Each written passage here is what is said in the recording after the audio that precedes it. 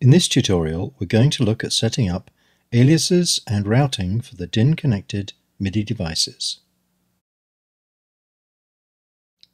In addition to the two iPads connected to the iConnect MIDI 4 Plus via the USB ports on the front, I also have an iPad 1 connected to the DIN ports on the front using an iConnect MIDI 1. I also have three other DIN-capable synths connected to the three DIN port pairs on the back. The microKORG is connected to DIN port 2 on the back of the iConnect MIDI 4 Plus. The MS2000 is connected to DIN port 3 on the back of the iConnect MIDI 4 Plus. And the Gaia is connected to DIN port 4 on the back of the iConnect MIDI 4 Plus. The iPad 1 is running MIDI pattern sequencer, and you can see from the column on the left I'm planning to send MIDI information to the iPads, to a microbrute connected via the host port, the microKORG, the MS2000 and the Gaia. Seeing this in action will be part of a different tutorial. For the moment, we're looking at how we can set these up in iConfig. In iConfig, the DIN ports are simply labeled DIN1 through DIN4.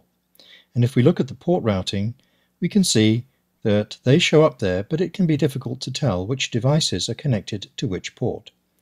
So we're going to go back and as we did with the host port and the devices connected to it, we're going to name the items connected to the DIN ports. I have my iPad sequencer on DIN port 1. I have my microKORG on DIN port 2, so we'll replace that with an alias as well. Have the MS2000 on DIN port 3.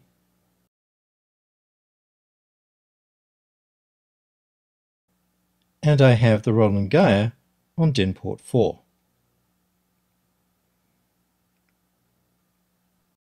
Now if we look in the port routing section, you can see I have those names visible, which makes it easier to work with in iConfig when I set the routing in the matrix. Because later on I want to have my iPad running the sequencer to send not only to my DAW on jack 3, but also the iPads, I'm going to connect that up here and also have it send to the individual DIN ports. In addition, because I have the microbrute available to me on the host jack on port 1, I can connect that also in the matrix to send to that device as well from the iPad running the sequencer.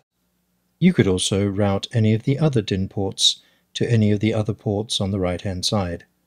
Because each of them has a playable keyboard, I might choose to do that if I'm using them to drive the iPads or other devices.